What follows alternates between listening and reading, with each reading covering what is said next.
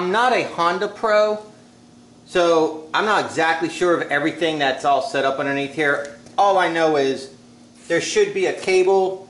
Well, there is a cable that comes down and connects that when you engage the lever, it engages the clutch here and allows the blade to spin. Um, and when you disengage the lever, the blade will stop spinning. This clutch is in a constant state of engagement, probably out of age and rust and stuff like that. And I do appreciate you guys giving me the information and the advice on how to fix that. However, I just don't care. Uh, I paid like 60 bucks for the mower. Um, the guy wanted 50 and I didn't have change. so I gave him 320s and I bought this mower. It's the Honda um, Honda HR194 PX model. It's not self-propelled. It's a standard 19-inch push mower back from like the 1990s. It's really old, but it's badass. What I want to do is I want to go ahead and, and uh, just touch up this blade a little bit. And I'm going to go ahead and mow my yard and my neighbor's yard uh, with this push mower. So we'll do a little music video mowing up some yards with uh, this, this mower here. I'm going to sharpen the blade and uh, we'll just take it from there.